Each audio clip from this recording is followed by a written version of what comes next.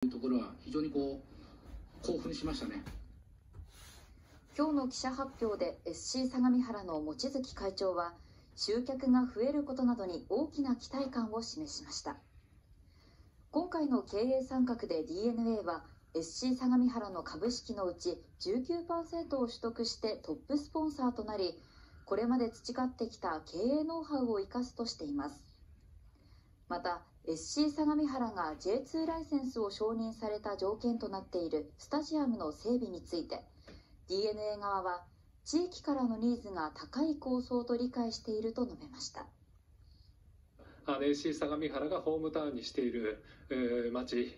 は100万人の、えー、人口がありますしポテンシャルのあるあの地域だというふうにも感じておりますので大変期待をしてあの感じております。先月藤沢